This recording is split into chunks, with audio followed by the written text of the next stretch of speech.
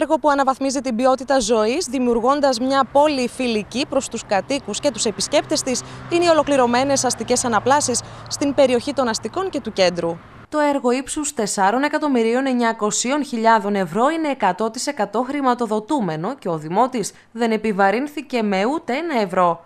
συμβάλλει στην αισθητική και ποιοτική αναβάθμιση της εικόνας των δρόμων και του αστικού περιβάλλοντος γενικότερα, στην αύξηση του βιωτικού επίπεδου των κατοίκων της πόλης, με τη δημιουργία άνετης, ασφαλούς και απρόσκοπτης μετακίνησης των πεζών και των ατόμων με ειδικές ανάγκες στον αστικό ιστό της πόλης. Η ανάπλαση έγινε με έμφαση στο πράσινο, με την φύτευση χιλιάδων δέντρων και τη χρήση υλικών φιλικών προς το περιβάλλον. Οι περιοχές που υλοποιήθηκαν οι παρεμβάσεις αφορούν συνολικά 32 οδούς. Πρόκειται για βιοκλιματικό σχεδιασμό που ξεκινά από την οδό Δημητρίου Νίκα μέχρι την την Αγία Εκατερίνη και την Οδός Βορώνου. Μεταξύ άλλων, οι παρεμβάσεις επικεντρώθηκαν και στα εξής: στη διαπλάτηση και αντικατάσταση των υφισταμένων πεζοδρομίων, ώστε το πλάτος τους να μην είναι μικρότερο του 1,5 μέτρου και στις δύο πλευρές του δρόμου, στη δημιουργία θέσεων στάθμευσης δεξιά και αριστερά του δρόμου με πλάτος 1,90 έως 2 μέτρα, στην κατασκευή πολυχρηστικών νησίδων στη θέση της λωρίδας στάθμευσης, οι οποίες θα φέρουν θέση για οδοφωτισμό, τον κάδος σκουπιδιών και χώρο για τη φύτευση δέντρου, στην κατασκευή των πεζοδρομίων με τη χρήση κυβόληθων,